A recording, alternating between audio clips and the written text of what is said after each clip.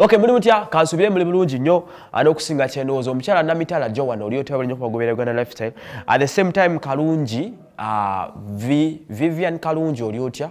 Webale kubanga naawe obeerako uh, ne bugingo stephen owekigali nkuwuzizaako kakati beef organic ye sponsor affe ate nga ajjanjaba bantu akujjanjaba endwadde zonna ezikuluma zino nga zoli mulwadde ekintu kyonna ekikuluma mu bulamu bwo akujjanjabisa uh, nacho food. Uh, emmere uh, gyoli eno eya bulijjo agimodifyinga nagifunamu eddagala noba nga tobeera toxificated tokozesa chemicals eh, ate kufuna cancer okitegeera. That is it. Kakati ensonga eri wano uh, ya mwana muwala lidia jasmine amaze nabukamu omwasi ku nsonga za kenzo naye ngaomwasi gwabuuseemu gwakubulirira munne kenzo n'okumugamba nti aleme kwejjusa kwebyo bigenda maaso. Lwaki jasmine tulowooza nnyo ku statement ye?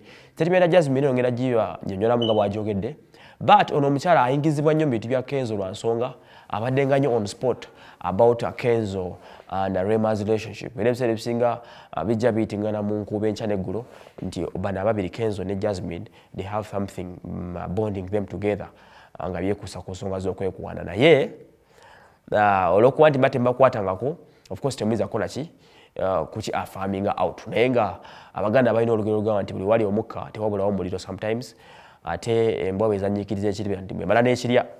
Byonna nabisoboka uh, okubanga uh, yamufuna n'obutamufuna but because they've been too close uh, people speculate uh, wa suspect eba bigenda mu maaso wakati wabana ababiri. Uh, kubeera nabaganda bongerako nti uh, gye buzibira eyo muleka bakayetika things of that kind. Kati gyetabeera ebiseera ebisinga ebintu bino bifulumayo. Naye bwobabuuza of course terenza kukikkiriza ne jasmine enyini ngaomuntu abyegalaga si biki? Si bituufu kenzo just a friend. Naye kati ono abadde nga atunulibwa nnyo nnyo nnyo era nga lumayaga kumanya jasmine ye aba alowooza ki about the, the, the, coming situation? Era nga olusi bamugeraga nnyo okubeera nga nti yani bamujja wa rema somewhere obimanyi obitambula. Naye nga tebiri official such avudde na breaking silence n'abako kyapostinga ku mikutu ng'agezaako kubanga inform abatunuulizi b'ensonga n'abawagizi be namba bamufollowinga bamwagala babeta ba lg diehards. Uh, ndoza omuntu gemanyi lg diehards bamuyita nanse they are claiming this message was purposely for kenzo but indirectly okusinziira ku biro.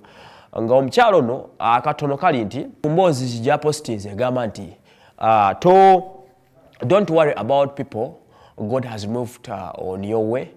Uh, gezako mugaa nti to toweeraliikirira ku lwabo katonda baba akugyeko nti ebiseera ebisinga katonda bategeseewo emboozi wakati we naawe naye nga bwe togimanyi uh, nga byonna bigenda okujja mu maaso go tojja kolaki kubimanya so olina wezi kubeera mugumu uh, notafaayo nnyo. Stop worrying about people who've moved away. Okitegeera ngaalinga mugamba nti ah kenza amata gaba gayiise gaba gayiise tolina uh, bw'aba rema agenze leave it let it go.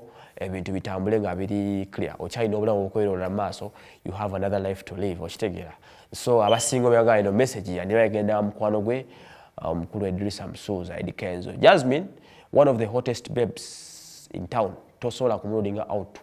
Bwekituuka ku mafiga ku ndabika ennungi you know kuyimba byonna biri kuyo omuntu so that is it